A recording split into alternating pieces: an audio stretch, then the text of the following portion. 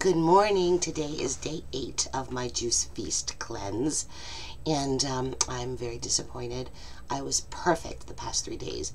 Not a morsel of food entered my mouth except for juice, pulp, like a pulp soup, and water and herbal tea, and I gained two pounds. I gained two pounds. I'm freaking out. so I was perfect. I was perfect. Perfect. Well. So, trying to say, okay, it's just temporary. It's probably maybe a little bit of water gain because I added some sea salt to my pulp.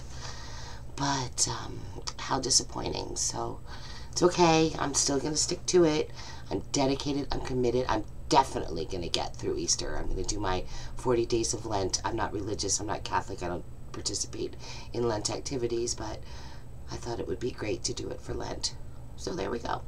I'm going to do it for Lent. Just so disappointing.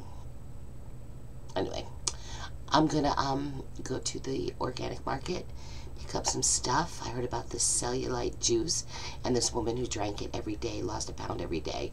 So I'm going to try it. It's like two grapefruits, some celery, and an apple. So we shall see. All right. Oh, gained. Perfect. Gained.